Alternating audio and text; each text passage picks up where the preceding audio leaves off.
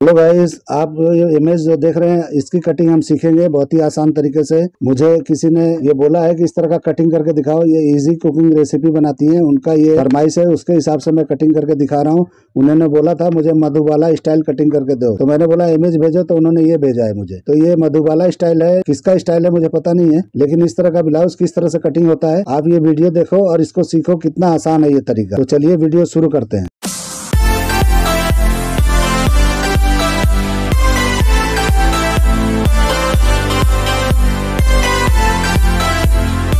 तो सबसे पहले एक पेपर ले लेंगे और चार इंच नीचे एक निशान लगाएँगे। हमने पिछले वीडियो में भी ऐसे ही बताया था आपको तो इस हिसाब से मैं इसको भी कटिंग करके दिखा रहा हूँ। तो मार्किंग दिख नहीं रहा है तो चलिए हम मोटे पेन से कर लेते हैं। तो इस तरीके से हमने मार्कर से कर लिया है। तो मार्कर से करने के बाद में हम इसको अभी क्लीन दिखाई दे रहा है। तो देखिए, इसका जो है शोल्डर जो है फोर्टीन इंच है तो हमने पाँच इंच ही कम करके लिया है, ज़्यादा नहीं लिया है। इस तरीके से करने के बाद में हम निशान लगाएँगे तो हमने ये सवा इंच के करीब में डाउन कर लिया है शोल्डर को। इस तरीके से क्या करेंगे कि यहाँ पे पौने तीन इंच के करीब निशान लगाएँगे। क्योंकि ये साइज़ कम है तो इस हिसाब से पौने तीन पे मैं निशान लगा रहा हूँ। तो इस तरीके से निशान लगाने के बाद में हम इस तरह से डाउन कर देंगे आर्मोल को मतलब शोल्डर को। तो शोल्डर को इस तरह से डाउन करने के बाद में हम क्या करेंगे कि इसको अभी आर्मोल का लेंथ निकालना है। तो देखिए हमने साढ़े छः पे लगाया है तो यहाँ पे साढ़े तीन पे लगा लिया है। तो यहाँ से हम डाट को कन्वर्ट करेंगे, ठीक है? प्रिंसेस कट में करेंगे और उसके बाद हम ये दिखाएँगे कि डिज़ाइन कैसे होता है। तो देखिए, हमने शोल्डर दिया था, वहाँ से सीधा आधा इंच मैंने माइनस कर लिया है। तो जितने पे भी निशान लगाए, उसे आधा इंच माइनस करके अंदर की तरफ़ मैंने लगाया है। और यहाँ पे हम एक स्ट्रेट निशान लगाएँगे अपर चेस्ट नापेंगे यहाँ पे। तो अपर चेस्ट यहाँ नापने के बाद में देखिए, सवा आठ हमारा आएगा, जो फोर से डिवाइड करेंगे थर्टी थ्री को थर्टी थ्री चेस्ट है। तो उस हिसाब से आधा इंच बढ़ा के हम निशान लगा लेंगे, क्योंकि हम वहाँ डाट देने वाले हैं, ठीक है?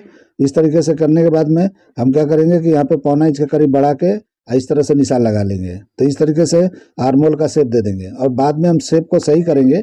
हमने आइडिया के लिए ऐसे कर लिया है, क्योंकि ये डाट वाले में एकदम परफेक्ट नहीं आता है। डाट को क्लोज करने के बाद ही परफेक्ट आता है। अब हम क्या करेंगे? डाट पॉइंट का निशान लगाएँगे जो नाइन इंच पे है, और यहाँ पे हम सेंटर पार्ट निकालेंगे सवा तीन पे। तो जितना हमारा फुल बस्ट है, उस हिसाब से थर्टी फोर है तो उस हिसाब से सवा तीन इंच होता है। इस तरह से लेंथ का निशान लगा लेंगे जो फोर्टीन इंच है, और वहाँ पे एक निशान लगा देंगे। अब यहाँ पे पौना इंच माइनस करेंगे इसके हिसाब से। तो देखिए यहाँ पे ढाई इंच पे आएगा। तो ढाई इंच पे हमको निशान लगा लेना है। और यहाँ पे निशान लगाने के बाद हमको शेप देना है। जो प्रिंसेस कट का शेप होता है, उस शेप को हमको देना है। तो इस तरीके से स्केल से लगाना है तो स्केल से लगाओ। आपको हाथ से जमता है, जैसे मैं लगाता हूँ तो वैसे भी कर सकते हो। तो स्केल से भी लगा सकते हो, लेकिन स्केल से क्या परफेक्ट नीचे तक नहीं आता है। तो इस हिसाब से मैं थोड़ा दूर करके इस तरह मिला लिया, ठीक है? आप अच्छी तरह से सेप दो, जैसे भी बैठे आपको बिठाना है। सेप अच्छा दिखना चाहिए। जो सेप हमने ऊपर मारा है डाट के लिए, वही सेप यहाँ दे देना है। तो इससे क्या होगा कि जब हम ज्वाइंट करेंगे तो बराबर मीटो मीट बैठेगा। तो इस तरह से डाट पॉइंट का निशान को हम सही कर लेना है। और ढाई इंच जो हमने यहाँ किया था तो हम यहाँ पे ढाई इंच का ही एक और डाट के लिए हम देंगे। क्योंकि साइज़ जो है ज़्यादा वो नहीं है, जैसे फ़र्क नहीं है, एक इंच का फ़र्क है और छोटा साइज़ है। तो हमने क्या किया है कि सिर्फ़ उतना ही ढाई इंच का ही निशान लगाया है। ढाई इंच का ही डाट देना है। और हमने सेंटर में आधा पाव इंच के करीब उतार लिया था तो उस तरीके से उतार लेना है। और यहाँ पे अब वेस्ट नापेंगे तो ढाई इंच वहाँ से माइनस करने के बाद में सेंटर का पार्ट का, और यहाँ पे हम निशान लगाएँगे तो ट्वेंटी नाइन वेस्ट है तो इसका जो है सवा सात इंच बैठता है तो इस तरीके से कर लेना है, ठीक है? तो इस तरीके से कर लेंगे तो यहाँ पे देखिए हमने जितना लेंथ है, उससे हमने माइनस कर दिया है एक इंच के करीब। तो एक इंच ही करना है, ये ज़्यादा क्योंकि ज़्यादा डाट नहीं है तो इसलिए एक इंच करेंगे तो ये बराबर आएगा। अगर डाट हम बड़ा मारते तो डेढ़ इंच के करीब जाते तो इसलिए हमने एक ही इंच मारा है। साइज़ के हिसाब से मैंने कम कर लिया है, ठीक है? तो इस हिसाब से कर लेना है। और इस तरह से शेप दे देना है। जो प्रिंसेस कट का सेप है, वो बराबर से सेप दे देना है। तो इस तरह से शेप देंगे तो एकदम परफेक्ट दिखाई देगा। तो देखिए किस तरह का दिख रहा है। और हम नेक नापेंगे तो नेक को हम मेजर कर लेंगे। तो साढ़े आठ, पौने नौ पे हम निशान लगा लेंगे। तो साढ़े आठ या पौने नौ पे या नौ पे जो भी लगाना है आप लगा सकते हो, ठीक है? तो इस तरह से मेज़रमेंट करके आपको निशान लगा लेना है। अब यहाँ पे क्या करना है? कि तीन इंच का हमको नीचे एक निशान लगाना है, जो हमको बेल्ट के लिए सेप देना है। जो बेल्ट का स्टाइल आपको दिख रहा है, जो हाई नेक की तरफ़ गया है पूरा, डिज़ाइन जो गया है उस हिसाब से। तो एक निशान लगाने के बाद जितना हमारा नीचे की तरफ़ बचा है, उतना ही हम इस तरफ़ लगा लेंगे। और यहाँ पे क्या करेंगे कि दो ढाई इंच का हम निशान लगा लेंगे। आप कम ज़्यादा यहाँ कर सकते हो शेप के हिसाब से। राउंडिंग किस तरह से अच्छा दिखेगा, उस हिसाब से आप कर सकते हो। अब यहाँ पे हम होल्टर नेक का सेप देंगे तो किस तरह देना है देख लीजिए। अब यहाँ पे सवा इंच के करीब हम माइनस कर लेंगे अंदर की तरफ़। जो हमने पौने तीन पे निशान लगाया था वहाँ से। और यहाँ से यहाँ से करीब, जहाँ से भी पकड़ना है, आपको अच्छा सेप दिखाई दे, वहाँ से कर सकते हो। तो देखो, जहाँ हमने उंगली रखा है तो ये तीन इंच के करीब है तो यहाँ पे निशान लगा के आप जो है कर सकते हो। आप इधर उधर भी कर सकते हो, लेकिन तीन इंच पे दोगे तो अच्छा सेप दिखाई देगा तो उस हिसाब से करना है। और देखिए, ऊपर जो है हमने निशान लगाया है, थोड़ा अंदर लेके जाना है तो जितना है वहाँ से आधा इंच अंदर की तरफ़ कर लेना है। और वहाँ से करने के बाद में इस तरह से ले आके, और शेप को हमको लाना है तो अभी चौक से जमेगा हमको इससे नहीं जमेगा मार्कर से। तो इसलिए देखो मैंने चौक से लगा रहा हूँ मैं। तो इस तरीके से लगाने के बाद सेप दे देंगे। तो ये थोड़ा अंदर की तरफ़ हो गया है, लेकिन हम बाद में चेंज कर लेंगे। इस तरह से भी कर सकते हो, ताकि एकदम से आगे की तरफ़ नेक अच्छा दिखाई देगा। अगर अंदर की तरफ़ लेना है तो अंदर की तरफ़ भी ले सकते हो। तो पहले ये मार्किंग करके आपको दिखा रहा हूँ, दूसरा भी लगा के दिखाऊँगा। तो देखिए, तीन इंच के करीब है ये। इस तरह से ला के यहाँ पे सेप देते हुए, ये डाट को बराबर करते हुए यहाँ पे ला के मिला देना है। और इस तरह से नीचे का जो सेप है, वो जहाँ भी देना है, आप दे सकते हो। इस, नीचे भी दे सकते हो, ऊपर भी दे सकते हो। जहाँ मैंने लगाया, वहाँ भी दे सकते हो। ज़रूरी नहीं है कि जो मैं जहाँ बता रहा हूँ, आपको वहीं करना है। आपके हिसाब से, अपने तरीके से कम ज़्यादा कर सकते हो। अब मैं साइड को क्लोज कर लूँगा साइड का निशान को लगा लूँगा, ताकि ये बराबर दिखाई देगा। मैंने लगाया नहीं था, भूल गया था, ठीक है? तो अब इस तरह से ये हमारा हो गया। अब इसको क्या करेंगे कि हम जो है, यहाँ पे नेक का निशान लगाएँगे। तो नेक यहाँ से भी दे सकते हो आप, ऊपर से भी दे सकते हो। तो मैंने निशान लगा के आपको बताया था कि जहाँ भी चाहिए नेक आप ऊपर नीचे कर सकते हो। ये दूसरा सेप लगा के दिखा रहा हूँ, इस तरीके से लगाना है तो इस तरीके से भी कर सकते हो, ठीक है? तो हम दोनों में से कोई भी एक डिसाइड करके लगा सकते हैं। तो बराबर वो दिखाएगा जो अभी हमने लगाया, वो बराबर जो है ड्राइंग के हिसाब से दिखता है। लेकिन मैं कट मार रहा हूँ, लेकिन अगर चाहिए तो आपको उस पर कटिंग करना है या इस पर कटिंग करना है। तो मैं कटिंग करने के टाइम इधर उधर कर लूँगा। आप देखिए, मैंने एक इंच का निशान लगाया और ला के हमको वहाँ पे शोल्डर पिन मिला देना है। तो जितना चौड़ा यहाँ पे उतना ऊपर कर सकते हो, कम भी कर सकते हो। आपके ऊपर है, किस तरह का चाहिए? शोल्डर का मैंने सिम जो रखा है, सवा इंच उसको भी आप कम कर सकते हो। तो इस तरीके से कम करके भी बिठाओगे तो अच्छा ही दिखेगा। अब हम इसको कटिंग करके और देखते हैं कि कैसा ही दिखाई देता है। तो रफ कटिंग कर लेंगे आर्मोल के पास। फिर हम डाट को क्लोज करके इसको चेक करेंगे कि कैसा ये बैठ रहा है, ठीक है? तो इस तरीके से पहले बाहर से कटिंग कर लेंगे।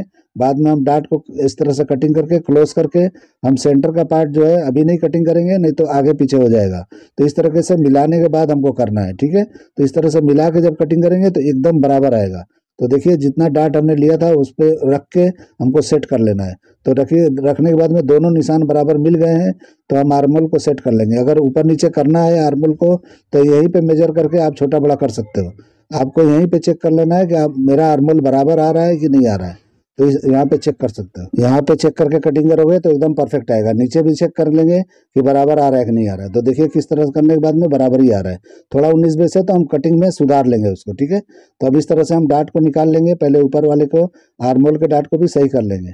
और उसके बाद हम जो है बाकी आगे बढ़ेंगे, ठीक है? तो इस तरीके से अभी नेक का सेप जो है, मैं अभी पहले जो मार्किंग किया था उस पर नहीं करके दूसरे पे कर रहा हूँ। क्योंकि मुझे सेप यही ठीक लग रहा है तो मैं इस पर कर रहा हूँ। इस तरह से आपको जहाँ सेप अच्छा लगे आपको वहाँ करना है। ठीक है? तो इस तरीके से ऐसा नहीं है, कोई ऐसा फार्मूला नहीं है, कोई तरीका नहीं है कि यहाँ नहीं, वहाँ काटोगे तो बिगड़ जाएगा। नहीं, कुछ भी नहीं होता है। तो मैंने अपने हिसाब से कटिंग किया, आप अपने हिसाब से कर सकते हो। इस तरीके से करने के बाद में कटिंग होने के बाद में, ये पीछे से जब ज्वाइंट होगा तो इस तरीके से ओवरलैपिंग बैठेगा तो एकदम परफेक्ट इस तरह से कॉलर जाके आराम से अच्छी तरह से बैठेगा। देखिए किस तरह से बैठा है बेहतरीन एकदम। ठीक है तो इस तरह से मेरा ये कटिंग हो गया। अभी जो है हम इसको डाट को, इसको जो है, जो डाट का पार्ट है, नीचे का प्रिंसेस कट का, उसको हम कटिंग कर लेंगे। ये कटिंग करने के बाद हम मैच करेंगे कि वो जो हमने डिज़ाइन किया है, उसको किस तरह से कटिंग करना है। आज मैं दूसरा स्टाइल आपको बता रहा हूँ, जो नॉर्मल है बिल्कुल। इस तरह से कटिंग करने के बाद में प्रिंसेस कट में, अब बाद में हम इसको ज्वाइन कर सकते हैं, ठीक है? तो इस तरीके से करने के बाद सबसे पहले हम क्या करेंगे? बैक को हम कटिंग करेंगे। तो पहले बैक कटिंग कर लेंगे, तभी उसको टुकड़े टुकड़े करना है। पहले कर दोगे, बाद में करोगे तो ये नहीं हो पाएगा प्रॉब्लम खड़ा करेगा। तो इस तरीके से निशान लगाना है और देखिए हमारा जो है ऊपर करके लगाना है, आधा इंच के करीब। जो मैं हमेशा बताता हूँ कि जब भी क्लोज नेक होता है, जो भी ऊपर से पीछे से आई होता है तो आधा इंच ऊपर बढ़ा लिया करो, उस तरह से बढ़ा लेना है। इस तरीके से देखिए हमको खींच के थोड़ा सीधा करना है निशान को, ताकि हम साइड और आर्मोल का लेंथ निकाल सकें, ठीक है?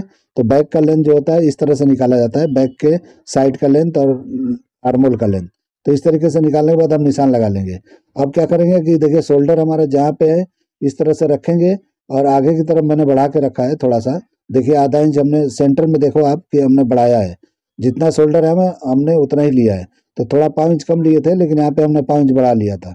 इस तरीके से अगर पट्टा चौड़ा है तो नीचे की तरफ़ जाना है, अगर पट्टा पीछे का कम है तो आपको आधा इंच पे ही जाना है। ठीक है तो इस तरह से करके यहाँ पे निशान लगा लेंगे।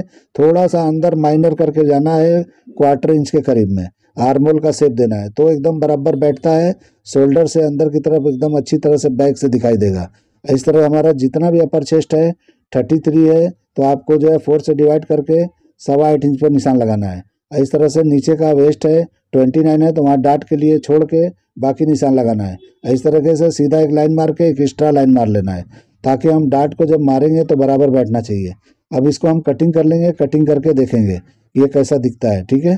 तो इस तरीके से कटिंग करके आपको दिखाता हूँ कि ये कैसा दिखाई देता है। मतलब परफेक्ट बैठता है या नहीं बैठता है? तो आप कपड़े पे कटिंग करके आपको इस तरह से अगर ब्लाउज बनाना है तो पहले लाइनिंग बना के ट्राई करके आप चेक कर लो बराबर आता है या नहीं आता है। अगर ये मेज़रमेंट है तो। या तो आपका अलग कोई मेज़रमेंट है तो उससे भी ये इसको कन्वर्ट करके बना सकते हो, ऐसा कुछ भी नहीं है। हर साइज़ का आपको सीखना ज़रूरी नहीं होता है। एक साइज़ आपने सीख लिया, सब इस पर कन्वर्ट करके बना सकते हो। ये बिल्कुल ही आसान होता है, कुछ भी इसमें समझने का खाली चक्कर होता है, बाकी कुछ नहीं होता है। तो इस तरीके से कोई भी साइज़ हो, और कोई भी स्टाइल में मैं आपको बता रहा हूँ, आप इसी से कोई भी साइज़ कर सकते हो। किस तरह से करना है, आपको दिमाग लगाना है।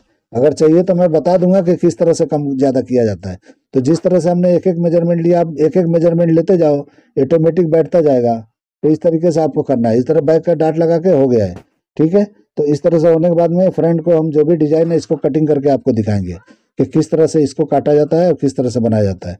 तो इस, मेरा कटिंग और कटिंग करने का तरीका आप लोग को पसंद आता है तो मेरे चैनल को ज़रूर लाइक करो, सब्सक्राइब करो और दोस्तों में शेयर कर लो, ठीक है? ताकि सबको ये वीडियो मिले और सब देख के कुछ ना कुछ सीखें।